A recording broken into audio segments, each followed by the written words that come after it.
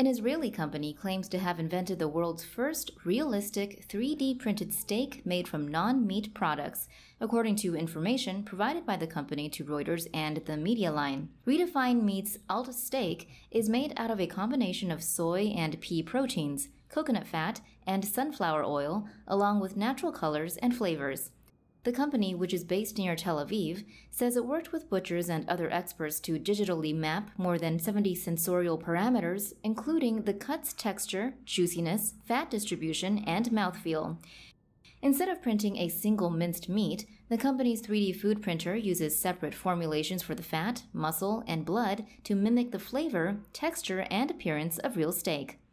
Separate plant based formulas dubbed alt muscle, alt fat, and alt blood are printed layer by layer. The company says each of these machines can produce 250 kilograms of the product in a single day.